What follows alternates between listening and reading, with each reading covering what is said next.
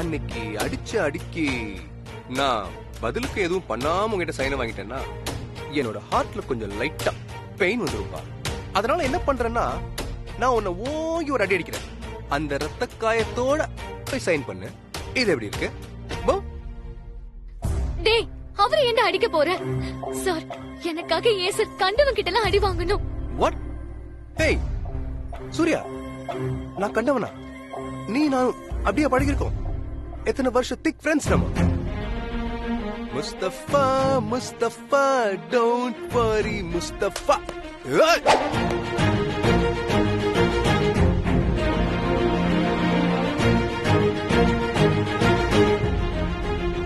என்னடா அடிக்க கை வாங்குற பயப்படாம அப்படியே நிக்கிற? டேய் அடிக்க கை ஓணுதுமே உன்ன மாதிரி முகத்தை பொத்திக்கிட்டு பயந்து நடுங்குற கோழை இல்லடா சூர்யா. அவன். அப்படியா? அதையும் பார்க்கலாம் ஏய்!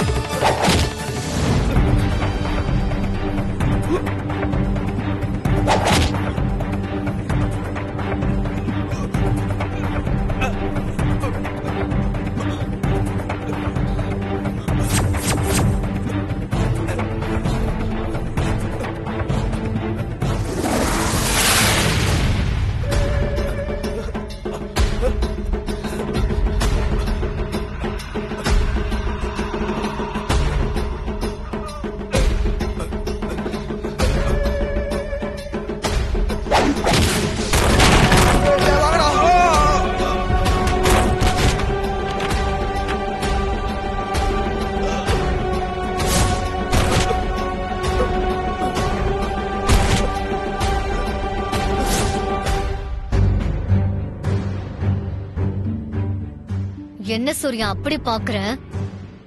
என்னடா நம்மள கொல்ல வந்தவன் நம்மளையே காப்பாத்துறானா? உன்னை நானே கொல்லணும். ஏன் கையாலேயே கொல்லணும். சந்திர கிரகணம் அன்னைக்கு உன்னை நானே கொல்லுவ சூர்யா.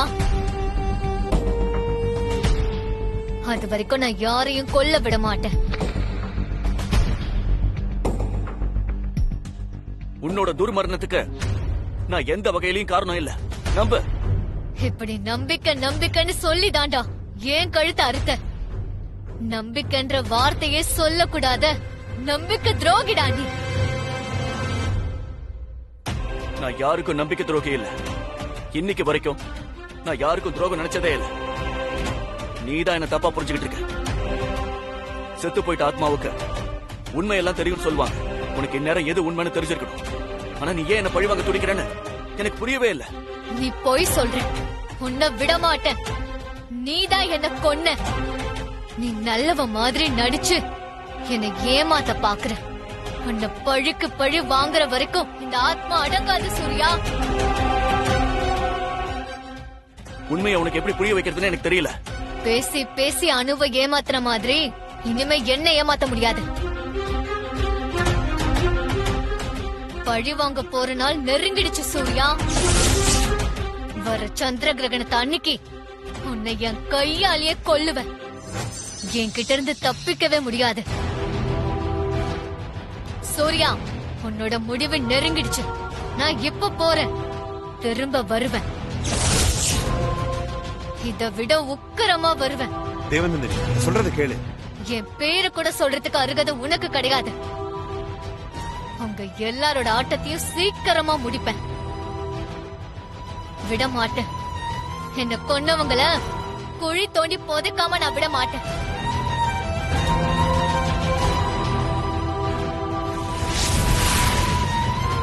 அனு? என்னாச்சு அனு அனு? அனு? அனு? எனக்கு என்ன ஆச்சு? ஒண்ணும் ஆகல அனு. யாருக்கும் எதுவும் ஆகல. அந்த சுரேந்தர் நான் அடிச்ச அடியில அவன் மயக்கமாயிட்டான். சூர்யா முதல்ல இந்த இடத்த விட்டு போலாம். இங்க இருக்கிறது சேஃப் இல்ல. போலாம் வாங்க.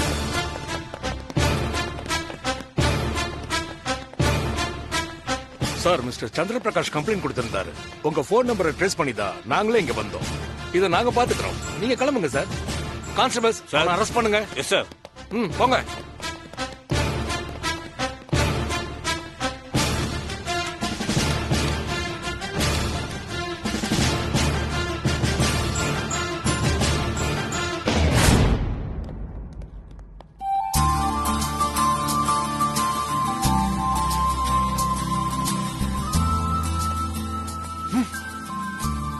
என்னடா?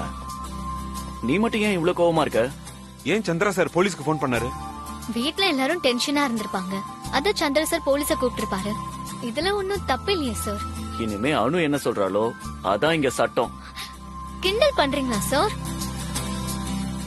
நீங்க ரெண்டு பேரும் இவ்வளவு சந்தோஷமா பேசிக்கிறது எனக்கு ரொம்ப ஹாப்பியா இருக்கு. ஆனா ஆனா என்ன ரஞ்சித்? தேவநந்தினி சந்திரகிரகம் அன்னைக்கு நாள் குறிச்சிட்டு போயிருக்கா.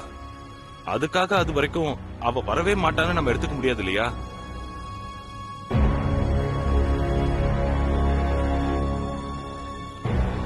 சோ நம்ம எப்பவுமே கொஞ்சம் கவனமா இருக்கிறது நல்லது. என்ன சொல்றீங்கன்னா அப்ப தேவநந்தினி திரும்ப வருவாளா? சாரி சிஸ்டர் நீங்க சந்தோஷமா இருக்கிற நேரத்துல நான் இதை சொல்லக்கூடாதுதான். ஆனா உங்களை அலர்ட் பண்ண வேண்டியது என்னோட கடமை இல்லையா? தேவநந்தினி வருவாளா இல்லையான்னு நமக்கு உறுதியா தெரியாது. ஆனாலும் ஜாக்கிரதையா இருக்கிறது நல்லது. அதோட கோயில் வீட்ல சிஸ்டர் செஞ்சிட்டு இருந்த பரிகாரம் பாதியில நின்னு போச்சு. பரிகாரம் முடியற வர சூர்யாவும் சிஸ்டரும் பார்க்கவே கூடாதுன்னு சாந்தாமா சொல்லியிருக்காங்க. ஆனா இப்ப ரெண்டு பேரும் பாத்துக்கிற மாதிரி ஒரு சுச்சுவேஷன் வந்துருச்சு. அதனாலதான் சொல்றேன். நீங்க ரெண்டு பேரும் கொஞ்சம் கேர்ஃபுல்லா இருக்கிறது பெட்டர்னு நினைக்கிறேன்.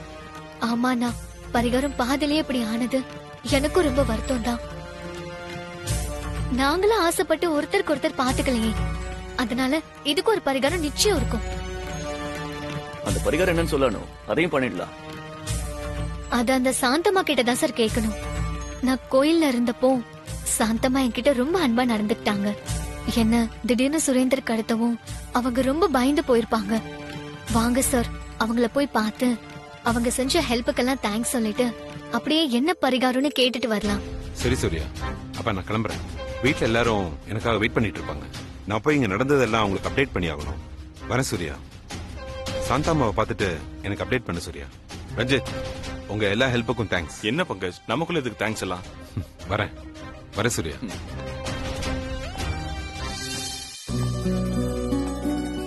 சூர்யா நானும் அப்படியே கிளம்புறேன்.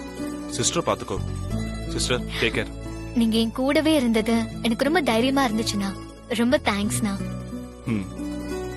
நான் சொன்ன ஒரு வார்த்தைக்காக உன் உயிரையும் பணைய வச்சு ஹெல்ப் பண்ண தேங்க்ஸ் ரஞ்சித். ஓகே சூர்யா. எப்ப என்ன ஹெல்ப் வேணாலும் ஒரே ஒரு ஃபோன் பண்ணு. அடுத்த நிமிஷம் நான் உங்க கூட இருப்பேன். ம் பை ம்.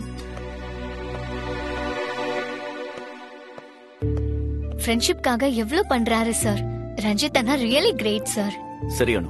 வா. முதல்ல சாந்தாமாவை பார்க்கலாம். அவங்க சொல்றத வச்சுதான் நம்ம அடுத்து என்னன்னு பிளான் பண்ணணும். சரி கார்ல குங்குமம் இருக்கு. அதை எடுத்து வச்சுக்கோ. ஆ, சரியா? வா. ம் சரிங்க சார்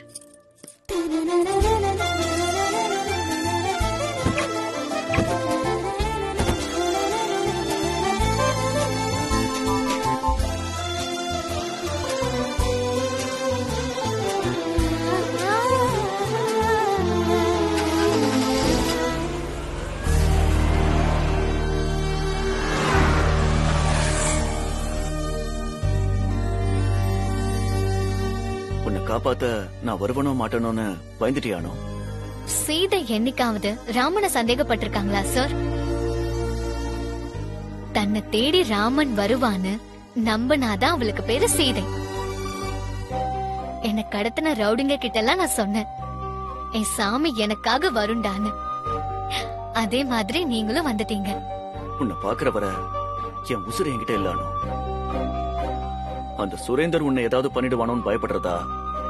இல்ல அந்த தேவநந்தினி சுரேந்தர் ஏதாவது பண்ணிடுவாளோன்னு பயப்படுறதான்னு ஒரே நரகம் ஆனோ? இனிமே இத பத்தி நம்ம நினைக்க வேண்டாம் சார் சார் சார் பூக்கடை சார் நான் ஸ்டாப் பண்றேன்.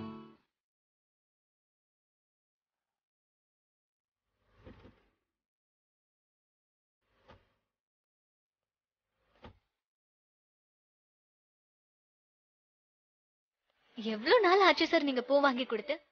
வாங்கிட்டாங்க சார். பூ என்ன? பூ கடையே வாங்கி தரேன் எந்த பூ வேணுமா? இது என்ன கேள்வி? எல்லா பூவும் வேணும். புதுசா கல்யாணம் ஆனாங்களா? எப்படிக்கா கரெக்டா கண்டுபிடிச்சீங்க? உன் புருஷன் எல்லா பூவும் வேணும்னு சொல்லும் போதே நான் கண்டுபிடிச்சிட்டேன். புதுசா கல்யாணம் ஆனவங்க மட்டும் தான் இப்படி வாங்கி தருவாங்களா என்ன? ஆம்பளைங்களுக்கு ஆயிரம் வேலைங்க. அந்த கவலையில போக போக பொண்டாட்டியையே மறந்துடுவாங்க. அப்புறம் எங்க அவங்களுக்கு பூ வாங்கி தர ஞாபகம் இருக்கும்? என் சூர்யா சார் எப்பவும் எவ்வளவு வேலை இருந்தாலும் எனக்காக இதே மாதிரி பூ வாங்கி தருவாரு. ரொம்ப சந்தோஷமா நீயும் இதே போல எப்பவும் சந்தோஷமா இருமா? ம். அக்கா ரெண்டு முழம் ஆ போதும் சரி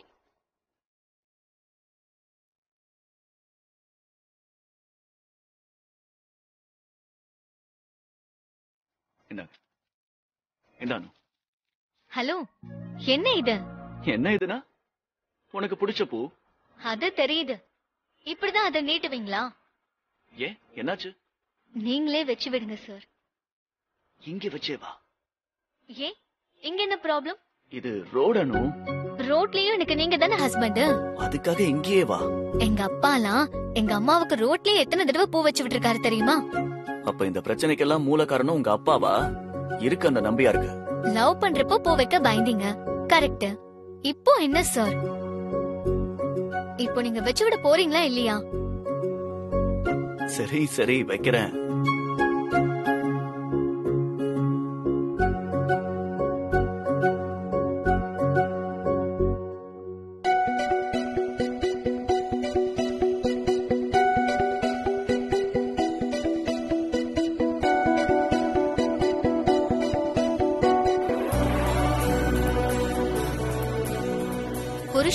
பொண்டாட்டிக்கு ஆயிரம் நகை வாங்கி தரலாம்.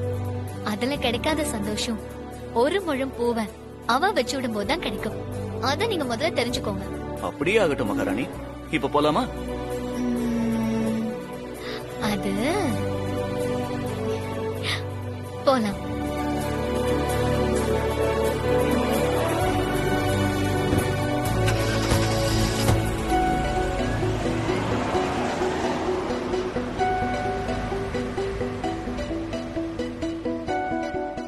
இனிமே நமக்குள்ள எந்த சூழ்நிலையிலயும் பிரிவே இருக்க கூடாதனோ. ஆமா சார் நம்ம பட்ட கஷ்டம் எல்லாம் போதும். இப்ப நீங்க மல்லிகைப்பூ வச்சு விட்டப்ப அப்ப எனக்கு ஒரு சந்தோஷம் வந்தது பாத்தீங்களா? அந்த சந்தோஷம் நம்ம வாழ்க்கை முழுக்க கூடவே வரட்டும்.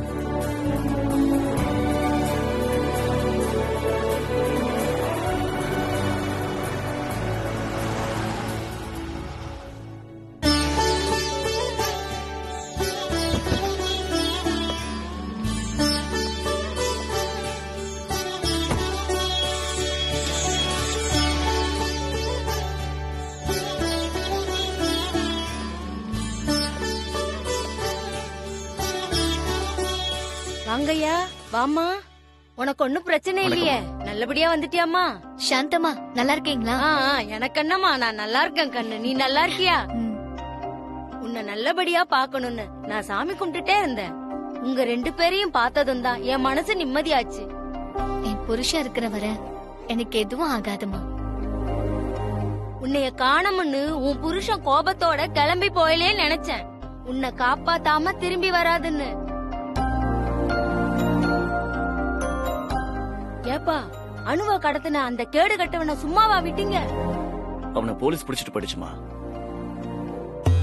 சாந்தம்மா இப்ப நாங்க உங்களை பார்க்க வந்தது உங்களுக்கு நன்றி சொல்ல. மட்டும் இல்ல. சொல்லுமா. விரதம் இருக்கும்போது நானும் இவரும் ஒருத்தருக்கு ஒருத்தர் பாத்துக்க கூடாது. ஆனா இப்ப பாக்குற மாதிரி ஆயிடுச்சு. இப்போ என்ன பண்றதுமா? இனிமே நீ இந்த விரதத்தை தொடர முடியாதும்மா. இதுக்கு வேற ஏதாவது பரிகாரம் இருக்கா?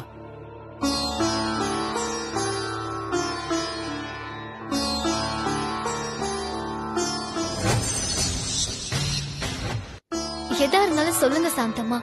நாங்க நம்பிக்கையோட செய்வோம். இருக்குமா? ஒரு பரிகாரம் இருக்கு. சொல்லுங்கம்மா. நிச்சயம் செஞ்சிடலாம். எனக்கு தெரிஞ்ச அம்மன் கோயில் ஒண்ணு இருக்கு. அங்க போய் குட்டியம்மன் கிட்ட வாக்கு கேட்டா அதுக்கு என்ன செய்யணும்னு? அந்த குட்டியம்மனே சொல்லுவா. அப்படியா? ஆமாம்மா. அந்த கோயில்ல ஒரு சின்ன பொண்ணு அம்மனா இருந்த அருள்வாக்கு சொல்றா. அவகிட்ட போய் கேப்போம்.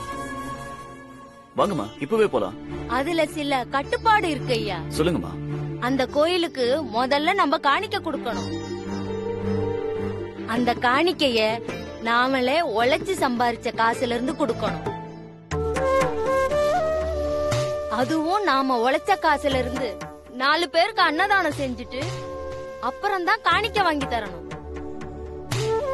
அப்பதான் அந்த குட்டியம்மன் நம்ம குடுக்கற காணிக்கைய ஏத்துக்கும். இத உங்களால செய்ய முடியுமாப்பா? அனுக்காக இத கூட செய்ய மாட்டேனாமா? எந்த ஒரு சந்தர்ப்பத்திலையும் நாம இவ்வளவு கஷ்டப்படுற மாதிரி ஆயிடுச்சேன்னு நீங்க ரெண்டு பேரும் மனசால கூட நினைக்க கூடாது. செய்யறத சந்தோஷமா செய்யணும். ரெண்டு நாளைக்கு கஷ்டப்பட்டு உழைச்சு அந்த காசுல அன்னதானம் செஞ்சு குட்டியம்மனுக்கு காணிக்க வாங்கி கொடுத்தா அந்த குட்டியம்மன் உங்களுக்கு வாக்கு கொடுப்பா. செய்யறோமா நிச்சயம் செய்யறோம் உடனே அங்க எங்களை கூட்டிட்டு போறீங்களா? சாமிய கும்பிட்டுட்டு வாங்கம்மா போலாம்.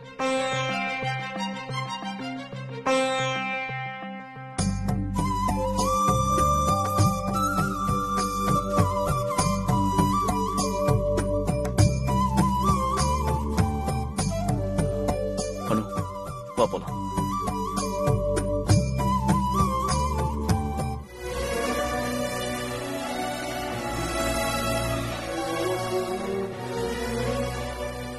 என் பொண்ணுக்கு எதுவும் ஆயிருக்காதுல்ல? அதான் பங்கஜ் சொன்னானே. வந்துகிட்டே இருக்காங்கன்னு உங்க பொண்ணு இன்னும் கொஞ்ச நேரத்துல இங்க வந்துருவா. யார் என்ன வேணாலும் சொல்லட்டும்.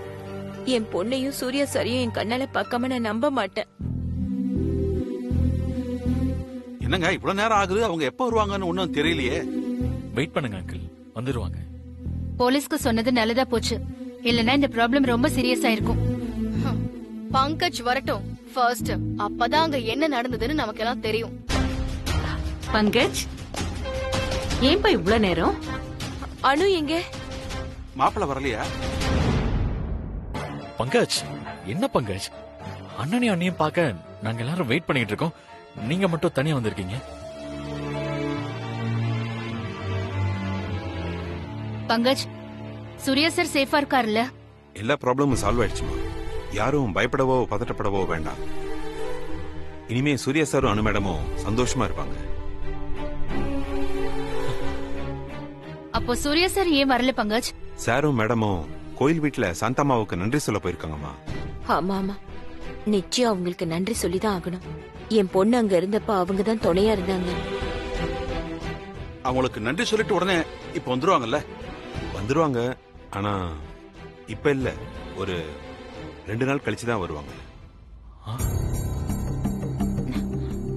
ஏன்பா ரெண்டு நாள்? அங்க அவங்க என்ன பண்ண போறாங்க? அகெயின் ஏதாவது எங்க கிட்ட இருந்து மறைக்கிறீங்களா பங்கஜ்? என் முகத்தை பார்த்தாலே உங்களுக்கு தெரியலையா? நான் சந்தோஷமா இருக்கேன்னு. நான் சொல்றத நம்புங்க. உண்மையிலேயே எல்லா ப்ராப்ளமும் சால்வ் ஆயிடுச்சு. அப்போ அண்ணனும் அண்ணியும் அங்கிருந்து ஹனிமூன் போயிட்டாங்களா? அவங்க ரெண்டு பேருக்கும் இவ்ளோ ப்ராப்ளம் வந்துகிட்டே இருந்தா வேற என்ன பண்ணுவாங்க? குட் டெசிஷன் நிம்மதியா ரெண்டு நாள் போயிட்டு வரட்டும். I believe you Pankaj let them enjoy எல்லாம் சரிதான். இருந்தாலும் வீட்டுக்கு வந்து ஒரு வார்த்தை சொல்லிட்டு போயிருக்கலாமே. கரெக்ட் ஏன் அங்கிருந்து சொல்லாம கொள்ளாம போனாங்க? இந்த கேள்வியை என்கிட்ட கேட்டா நான் என்னத்த சொல்றது? சூர்யா சாரும் அனு மேடமும் இன்னும் ரெண்டு நாள்ல இங்கேயே வந்துருவாங்க. வந்ததுக்கு அப்புறம் நீங்களே அவங்க கிட்ட கேளுங்க. சார் உங்க எல்லார்கிட்டயும் சொல்ல சொன்னது ஒன்னே ஒண்ணுதான். அவங்க ரெண்டு பேரும் இப்ப நிம்மதியா சந்தோஷமா இருக்காங்க. ரெண்டு நாள் ஃப்ரீயா டூர் போக போறாங்க. வேற எதுவும் எனக்கு தெரியாது மேடம். அவங்க ரெண்டு பேரும் சந்தோஷமா சேஃபா இருக்காங்கல்ல? அது போதும் எங்களுக்கு. எவ்வளவோ கஷ்டப்பட்டு என் பொண்ணு இப்பதான் நிம்மதியா இருக்கா? இனிமேலாவது அவ சந்தோஷமா இருக்கட்டும். அம்மா மகமாயி